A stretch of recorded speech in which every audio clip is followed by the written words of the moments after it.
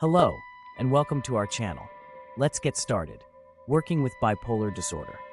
Working with bipolar disorder requires a combination of self care strategies, understanding from employers, and a supportive work environment.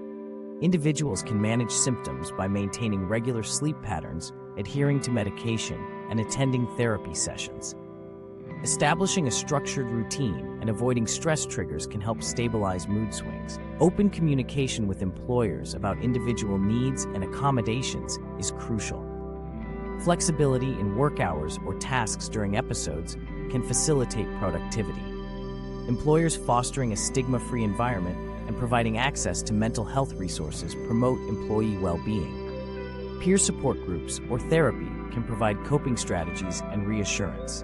By prioritizing mental health and implementing effective management strategies, individuals with bipolar disorder can thrive in the workplace, contributing positively while maintaining stability and managing their condition effectively.